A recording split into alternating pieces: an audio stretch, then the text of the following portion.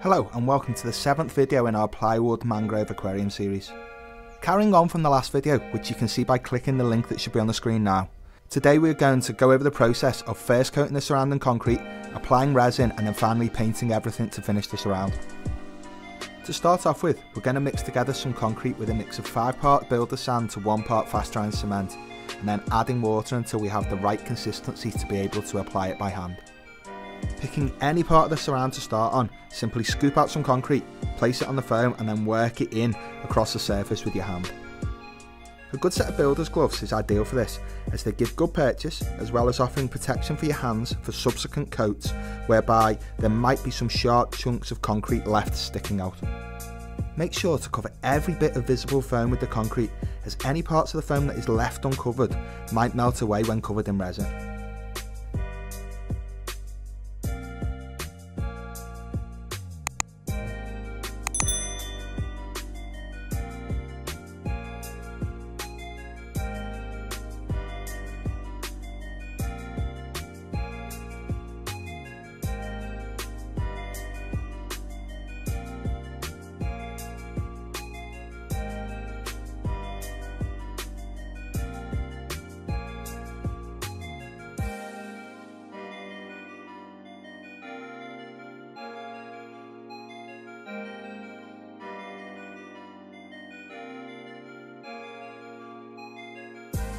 After the first coat of concrete has been allowed to dry completely, apply a second coat on top of it which will slightly smooth out the surface and give a nicer finish. Again make sure to cover the entire surface.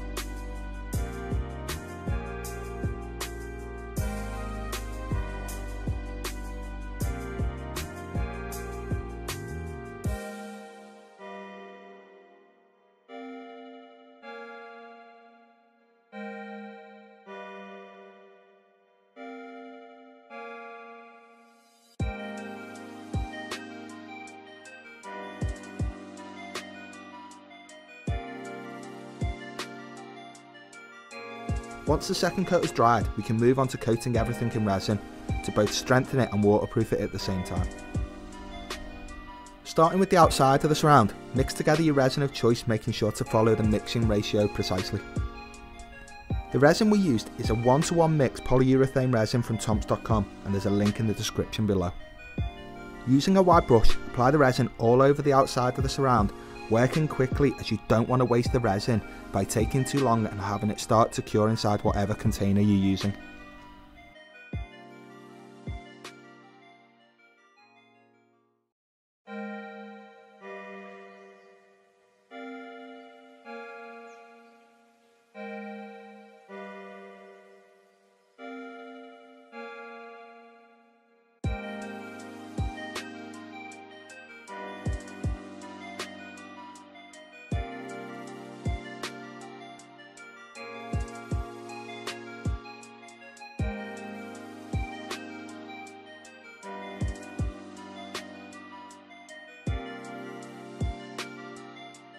To start out we're going to base coat everything with a grey paint which we can then dry brush and apply washes on the top of to get our final rock effect. Now for the base you should try and use a few different tones of grey as we don't want everything to be one flat uniform colour. Some variation will give a much better final effect. For our surround we've gone with a two colour base.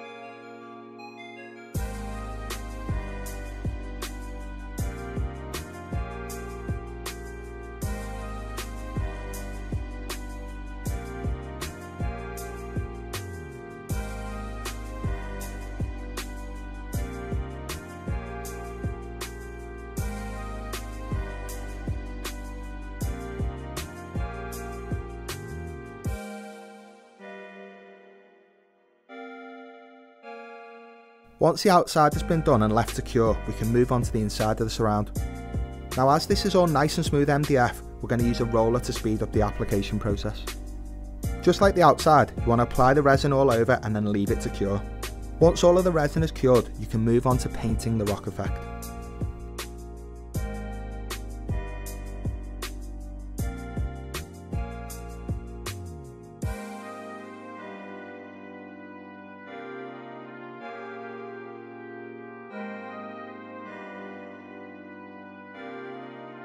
Once the base is dried, we're then going to dry brush on a much lighter grey on top of it to bring out all of the raised surfaces around the surround. For this, you want to try and get a little bit of paint on the end of your brush and then you need to try and wipe off as much of it as possible using some paper towel or similar. Once you've wiped away most of the paint, then you lightly brush over the surface of the surround and watch how the ridges start to pop. Do this all over the surface and again you might want to use a few varying shades of grey going all the way to white to really bring out the stone effect. Once you're happy with your paintwork, then you need to seal the paint so it won't rub off whenever someone touches the surround.